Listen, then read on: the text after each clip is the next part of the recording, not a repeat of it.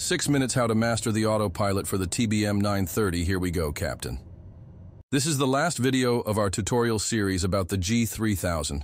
Congratulations if you followed the complete course, but if you didn't, feel free to check our other videos about that. It might answer some questions on the plane's configuration and setup. Enough talking. Let's dive into the video. Today we will focus on this big panel.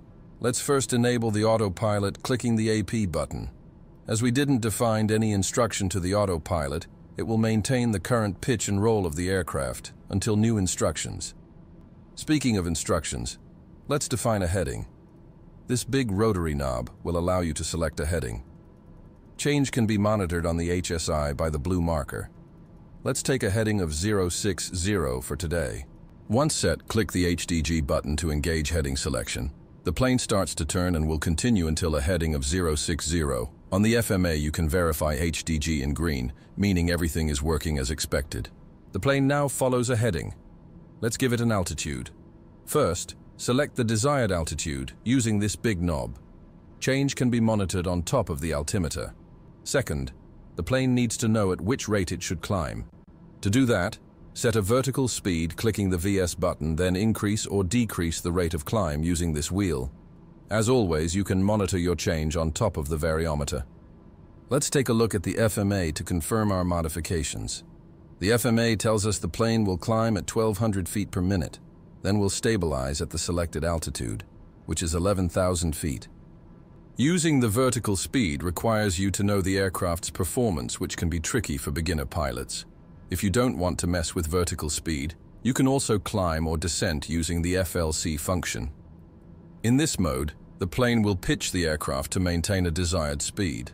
As you may have noticed, the TBM doesn't have auto throttle, so do not forget to increase power when doing it. In order to avoid confusion, the autopilot will not increase or decrease power to maintain the selected speed. It will only pitch more or less the aircraft so that it climbs at this specific speed. You can increase or decrease the selected speed using the VS wheel. Okay, so now you know how to give a heading and an altitude to the aircraft. Let's dive into more complicated functionalities like VNAV and LNAV. Let's imagine we have a flight plan in the onboard computer and we want the autopilot to follow it. To do that, press the nav button, but as you can see, nothing happens. It's normal as you need to merge the aircraft toward the flight path. From our navigation display, we can see a heading of 090 should send us directly to the flight path.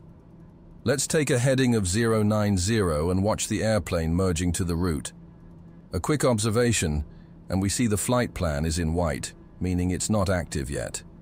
We will probably intercept the leg between Luigi and Hannah, so we need to activate it. To do that, go to the onboard computer then select Flight Plan. Search for Hannah, then click Activate Leg to Waypoint. The leg now turns in magenta, meaning it's active. Let's fast forward until we cross the route. Please take a look at the FMA. The plane is currently in heading mode in green and is waiting to cross for the navigation route, as shown by the white FMS. We are now intercepting the route. HDG just disappeared, FMS became green, and the plane is turning. It will now follow this route until the end of the flight plan or further instructions. And that's it for the lateral navigation. Now let's talk about vertical navigation. We are currently on the arrival, and we can see the top of descent on the navigation display. We want the airplane to descent automatically and follow the arrival path. To do that, first set the desired altitude, in our case 6,000 feet. Then click the VNAV button VNAV is now engaged, as shown on the FMA. The plane will maintain its current altitude until it reaches the top of descent. Let's fast forward. A couple of miles from the TOD, you should hear a vertical track. While the VNAV path pops up on the primary flight display.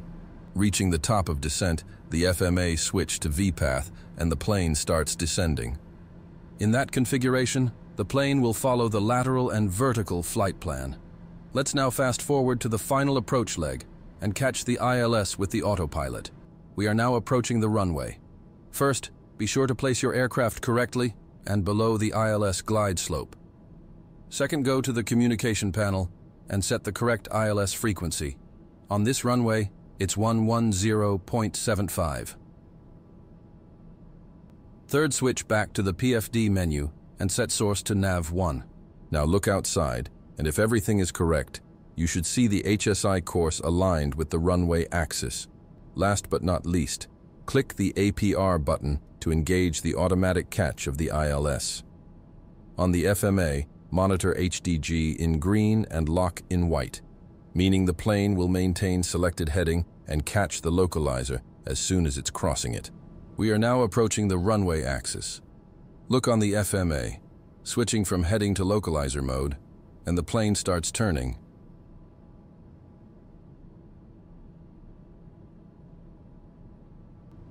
Couple of seconds later, we can see the glide slope diamond coming closer and closer to the center. Check again the FMA and monitor the change from altitude hold to glide slope.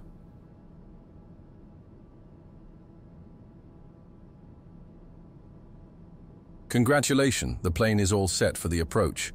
Do not forget to decrease airspeed during the descent. When reaching the white arc, increase flaps to landing configuration, as well as lowering the landing gear.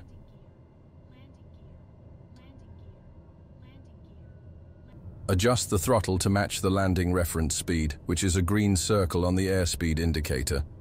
Please remember, this plane is not auto-land equipped, so you would have to take manual control on short final. And that sums up this tutorial about the TBM Autopilot. I hope you learned something new today. Thanks for watching. Feel free to like and subscribe for more content. Happy landings, Captain.